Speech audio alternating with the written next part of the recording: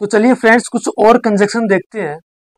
तो चलिए कुछ और एग्ज़ाम्पल से समझते हैं कंजक्शन को। देखिए, हमें पता है कि नाइदर के बाद नोर का यूज़ होता है हमेशा। नाइदर के बाद हमेशा नोर कंजक्शन का यूज़ होगा और आइदर के बाद हमेशा और कंजक्शन का यूज़ होता है। देखिए, नाइदर का जो हम यूज़ करते हैं, वो दो में से कोई एक, दो में से कोई भी नहीं के लिए करते। दो में से कोई भी नहीं। दोनों में से कोई भी नहीं के अर्थ में होता है। इसका होता है दोनों में से कोई एक आइदर और का जो यूज़ होता है वो दोनों में से कोई एक के लिए होता है। आइदर राम और Shyam is present in the class either Ram और Shyam is present in the class तो दो है। या तो राम प्रेजेंट है, श्याम, दोनों में से एक तो प्रेजेंट है। तो दोनों में से एक के लिए होता है। दो, दोनों में से एक के अर्थ में होता है। एक के अर्थ में। तो आइदर और का जो यूज़ यूज़ होता है, दोनों में से कोई एक के अर्थ में होता है नाइदर नोर का जो यूज़ होता है, दोनों में से कोई भी नहीं के होता है। Neither neither Ram nor Shyam is present in the class न तो राम प्रेजेंट है, ना Shyam present in the class तो नाइदर नोर मीन्स दोनों में से कोई भी नहीं। आइदर और मीन्स दोनों में से कोई एक प्रेजेंट है। तो चलिए एग्ज़ाम्पल से इसको बेटर तरीके समझते हैं। देखिए जो हमारा पहला एग्ज़ाम्पल है neither Ram nor Shyam has come neither Ram nor Shyam has come तो हमें पता है कि नाइदर के बाद नोर का यूज़ होता है, ये तो यहाँ पर सही हो रहा है। मतलब जोड़ा सही यूज़ हुआ है neither Ram nor Shyam has come ठीक है? अब देखिए इसमें एक चीज़ और है, देखिए। ये जो हेल्पिंग वर्ब आ रहा है, ये हमें पता है सब्जेक्ट के अनुसार आता है। अगर सब्जेक्ट सिंगल है तो सिंगल हेल्पिंग वर्ब आएगा। अगर सब्जेक्ट पुलर है तो पुलर वर्ब हेल्पिंग वर्ब आएगा। तो अगर सब्जेक्ट पुलरल है तो हेल्पिंग वर्ब भी पुलरल आएगा। तो देखिए, यहाँ पर देखिए neither Ram nor Shyam has come अब देखिए, इस जो हैज़ अब सब्जेक्ट हम कौन सा चूज़ करेंगे? देखिए सब्जेक्ट दो हो गए ना, राम और श्याम दोनों सब्जेक्ट हैं और दोनों नोट से जुड़े हुए हैं तो हम कौन सा सब्जेक्ट लेंगे? तो देखिए, हमेशा हेल्पिंग वर्ग के पास वाला जो भी सब्जेक्ट होगा, उसके अनुसार आएगा। मतलब हमेशा हम ये सब्जेक्ट लेंगे। इसका मतलब ये नहीं है कि हम हमेशा यही सब्जेक्ट लेंगे। अगर ये हैज़ यहाँ पर होता, हैज़ राम और has Ram nor Shyam come तो हम राम के अनुसार लेते। क्योंकि हेल्पिंग वर्ब के जो पास में जो भी सब्जेक्ट होगा, उसके अनुसार ही ये हेल्पिंग वर्ब आएगा। तो यहाँ पर शाम के अनुसार है। शाम सिंगल है तो यहाँ पर हमने सिंगल हैज़ के दिया है। Has come. अब हमें पता है हैज़ और हैव के बाद हमेशा मुख्य वर्ग की थर्ड फॉर्म आती है तो यह कम क्या है? मुख्य वर्ग की थर्ड फॉर्म है। हमें पता है कम केम कम होता है। तो यहाँ पर कम क्या आ रहा है? मुख्य वर्ग की थर्ड फॉर्म आ रही है। तो देखिए, हमेशा हैज़ हैव के बाद मुख्य वर्ग की थर्ड फॉर्म आएगी। अब देखिए, ये तो तो क्या ये सेंटेंस बिल्कुल सही है। सेकंड सेंटेंस हम देखते हैं neither Ram nor his friends has come तो क्या ये सेंटेंस सही है? अभी मैंने आपको बताया, इसके अकॉर्डिंग बताइए क्या सेंटेंस सही है। Neither Ram nor his friends has come तो ये सेंटेंस गलत है, क्योंकि यहाँ पर हैज़ नहीं आएगा, यहाँ पर हैव आएगा। हैव यहाँ पर आएगा। Neither Ram nor his friends have come क्योंकि हमें पता है हेल्पिंग वर्ब के पास वाला सब्जेक्ट लेंगे तो हिज फ्रेंड्स क्या पुलर वर्ब है पुलर नाउन है सॉरी हिज फ्रेंड्स क्या है पुलर नाउन है तो यहाँ पुलर वर्ब भी आएगी तो हैव क्या है पुलर वर्ब आ रही है। तो हैव आएगी यहाँ पर, याद रखिएगा। अब देखिए, अगला सेंटेंस देखते हैं। हैज़ राम और his friends come has Ram और हिज फ्रेंड्स कम देखिए, मैंने यहीं पर आपको समझाया था एग्ज़ाम्पल हैज़ राम और हिज फ्रेंड्स कम क्या राम और उसके दोस्त आए हैं? ठीक है? क्वेश्चन वारसक सेंटेंस क्वेश्चन पूछ रहा है। हैज़ राम और his friend come so how can we reply? Neither no. Neither ram nor his friend come. तो देखिए, वो छोड़िए। हैज़ राम और हिज फ्रेंड कम देखिए, मैंने आपको एक चीज़ बोली जो हेल्पिंग वर्ब जिस सब्जेक्ट के पहले पास होगा ना, उसी के अनुसार क्या है, वो आएगा। तो देखिए, राम यहाँ पर पहले यूज़ हो रहा है तो इसका मतलब ये नहीं कि हम इसके अनुसार यूज़ करेंगे। राम के साथ राम के पास में तो राम ही इसका क्या होगा सब्जेक्ट होगा। राम के अनुसार ये आएगा। यहाँ पर हैव नहीं कर सकते हम, क्योंकि राम के अनुसार आ रहा है यहाँ पर। तो जो भी हेल्पिंग वर्ब के पास में जो सब्जेक्ट होगा, उसी के अनुसार आएगा। अगर यहाँ होता तो ये हैव होता। क्योंकि पास में हिज फ्रेंड होता तो इसके अनुसार रहता। लेकिन यहाँ पर हैज़ आ रहा है क्योंकि राम के अनुसार, राम के पास में है। तो हैज़ राम और हिज फ्रेंड कम। तो ये सेंटेंस भी क्या है? बिल्कुल सही है। अब देखिए, अगला सेंटेंस हम देखते हैं। Neither of his four sons looked after him neither of his four sons looked after him देखिए नाइदर ऑफ़ नाइदर ऑफ़ का यूज़ हमें पता है, दो में से कोई भी नहीं के लिए होता है। सिर्फ़ दो के लिए होता है। आइदर और नाइदर का यूज़ सिर्फ़ दो ही व्यक्तियों के लिए होता है। नाइदर में दो में से कोई कोई भी नहीं आइदर में दो में से एक। ज़्यादा के लिए, दो से ज़्यादा के लिए यूज़ नहीं होंगे। न तो नाइदर होगा, न ही आइदर होगा। देखिए नाइदर ऑफ़ हिज फोर्स यहाँ पर चार व्यक्तियों की बात कर रहा है भाई। चार व्यक्ति कहाँ से यूज़ होंगे? भाई, हमें पता है कि सिर्फ़ दो ही व्यक्तियों के लिए नाइदर का यूज़ हम करते हैं। तो ये सेंटेंस गलत होगा। यहाँ पर आएगा, देखिए, दो से अधिक में से कोई भी निकले, हम नन ऑफ़ का यूज़ नन ऑफ़ का क्या कर सकते हैं? हम यूज़ कर सकते हैं। तो यहाँ पर क्या नन ऑफ़ आ जाएगा। None of his four friends four sons look after him तो यहाँ पर क्या आ जाएगा? नन ऑफ़ नन ऑफ़ ये आ जाएगा। ये सेंटेंस क्या होगा यहाँ पर गलत हो जाएगा।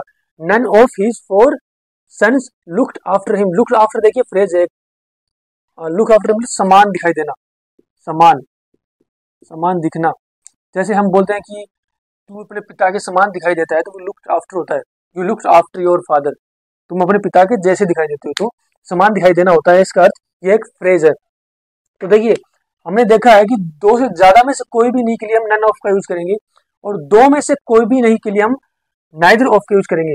अगर देखिए यहाँ पर neither of his two sons होता ना तो सेंटेंस सही होता है, लेकिन फोर दो से थ्री फोर फाइव जितने भी ऊपर जाएगा तो हम नन ऑफ़ यूज़ करेंगे। तो ये सेंटेंस गलत है, यहाँ पर नन ऑफ़ आएगा नाइदर ऑफ़ के स्थान पर।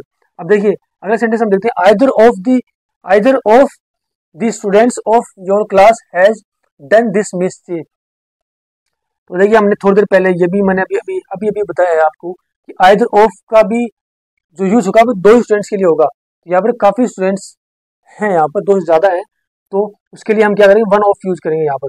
वन ऑफ़ आइदर ऑफ़ के स्थान पर one of one of the student of your class has done this mistake तो आई होप आपको डिफरेंस कंजक्शन आइदर और नाइदर और में क्या अंतर होता है? दो के लिए हम यूज़ करते हैं, दो से ज़्यादा के लिए हम किस किन का यूज़ करते हैं? कौन से जोड़े में यूज़ होते हैं? कौन सा हेल्पिंग वर्ब आता है? कौन सा सब्जेक्ट होगा? ये सब आपको समझ में आ गया होगा।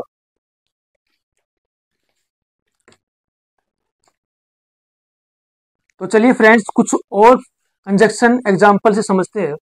देखिए नोट ओनली के बाद हमें पता है नोट ओनली के बाद हमेशा बट आल्सो कंजक्शन का हम यूज़ करते हैं। नोट ओनली के बाद बट आल्सो कंजक्शन का यूज़ करते हैं और बोथ के बाद हमेशा एंड कंजक्शन का यूज़ होता है। ये भी जोड़े के अंदर यूज़ होते हैं दोनों कंजक्शन नोट ओनली के बाद बट आल्सो और बोथ के बाद एंड कंजक्शन का यूज़ होता है। तो चलिए एग्ज़ाम्पल से इसको बेटर तरीके से समझते हैं। तो पहला जो हमारा एग्ज़ाम्पल है he is both intelligent and hard working he is both intelligent hard working वह इंटेलिजेंट और हार्ड वर्किंग दोनों है। ये सेंटेंस सही है यहाँ पर, ठीक है? He is both intelligent and hard working वह इंटेलिजेंट और हार्ड वर्किंग दोनों है। देखिए बोथ के बाद हमें पता पता एंड कंडीशन यूज़ होगा तो ये सही है सेंटेंस अब देखिए, दूसरा सेंटेंस देखिए। He is not only dishonest but also lazy हमें बताया कि नॉट ओनली के बाद बट आल्सो यूज़ होता है। तो देखिए नॉट ओनली के बाद क्या आ रहा है? बट आल्सो आ रहा है। He is not only dishonest but also lazy तो ये सेंटेंस भी सही है। अब देखिए, इसके अंदर एरर कहाँ से आता है? नॉट ओनली बट आल्सो के अंदर। हमें ये तो सबको पता है कि नॉट ओनली के बाद बट आल्सो आएगा। लेकिन वो क्या करता है? अब देखिए, इनकी जो जो पोजिशन होती है, वो भी फिक्स्ड होती है। यानी इसके अनुसार ये आता है। बट आल्सो के अनुसार क्या आता है? बट आल्सो के अनुसार नोट ओनली यूज़ हम करते हैं। जो नोट ओनली यूज़ होगा, जो भी नोट ओनली यूज़ होगा बट आल्सो के अनुसार आएगा। बट आल्सो की जो भी कंडीशन होगी, उसके अनुसार ही आएगा। जब देख, अब देखिए लेजी हमें पता है क्या है कि एडजेक्टिव है एडजेक्टिव लेजी एक एडजेक्टिव है तो हमें पता होगा, या हमें पता होना चाहिए कि जो नोट ओनली आएगा, वो भी एडजेक्टिव के पहले ही आएगा। यानी बट आल्सो अगर नाउन के पहले है तो नोट ओनली भी नाउन के पहले ही आएगा। अगर बट आल्सो वर्ब्स के पहले तो नोट ओनली भी वर्ब्स के पहले आएगा। अगर बट आल्सो एडवर्ब के पहले है तो नोट ओनली भी एडवर्ब के पहले ही आएगा। तो यहाँ पर देखिए लेजी एडजेक्टिव है तो नोट ओनली भी एडजेक्टिव के पहले आना चाहिए। तो हमें पता है डिसऑनेस्ट क्या है एडजेक्टिव है। तो ये सेंटेंस क्या है, बिल्कुल सही है। कई मैक्सिमम बार पोजीशन से इसका पोजीशनिंग से रिलेटेड ही इसमें एरर आता है। पोजीशन की चेंज कर देता है, जैसे मैंने आपको बताया वैसे ही। तो देखिए तो ये सेंटेंस क्या हो जाएगा? सही सेंटेंस है Ram as well as Shyam. देखिए एज वेल एज भी एक कंजक्शन है, जो दो नाउन प्रनाउन सब्जेक्ट क्लोज को जोड़ने काम करती है। तो Ram as well as his friends are coming तो देखिए, क्या सेंटेंस सही है? अब देखिए, याद रखिएगा एज वेल एज के साथ में जो भी आप, ये हेल्पिंग वर्ब आएगी वो इसके अनुसार नहीं आएगी। वो पहले जो सब्जेक्ट होगा इसके अनुसार आएगी। राम के अनुसार आएगी। यहाँ पर ये गलत होगा। यहाँ पर इज़ आएगा। Ram as well as his friends is coming तो देखिए जो ये हेल्पिंग वर्ब यूज़ होगी वो एज वेल एज की जो पहले जो सब्जेक्ट होगा उसके अनुसार आएगी। इसके अनुसार नहीं आएगी। आइदर और नाइदर और जो होगा उनके अंदर जो पास में होगा उन, उनके अनुसार आएगी। जबकि एज वेल एज अगर कंजेक्शन यूज़ हुआ है तो जिसके दूर होगा सब्जेक्ट उसके अनुसार आएगी। तो राम के अनुसार आएगी। तो याद रखिएगा, यहाँ से एर रहता है बहुत बार। अगला जो हमारा जो सेंटेंस है, वो है not only he cheated his friends not only he cheated his friends but also his parents उसने न केवल अपने दोस्तों को साथ धोखा किया है, बल्कि अपने पेरेंट्स के साथ भी किया है माता पिता के साथ भी किया है। तो क्या ये सेंटेंस सही है?